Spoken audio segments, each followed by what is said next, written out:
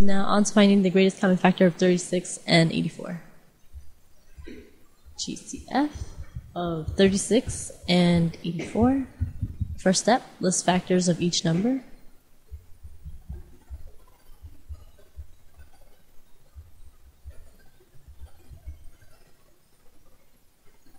Okay, now 36, 1, 2, 3, 4, 6, um, 9, 12, and let's see, 18 and 36.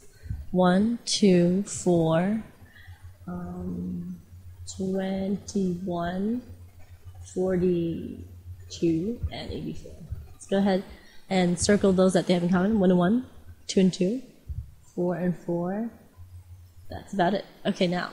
Now you have to find the greatest common factor. So which one's the largest? If you thought 4, you're correct. Let's go ahead and write that down. Greatest common factor of 36 and 84 is 4.